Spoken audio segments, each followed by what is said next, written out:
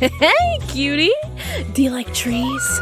Because of a cat, uh, um, uh, if if a cat got stuck in a tree, wait a minute, that's is the line. Uh, if, if you were cat stuck, you'd be a, a cat. Girl, please. I forgot the pickup line.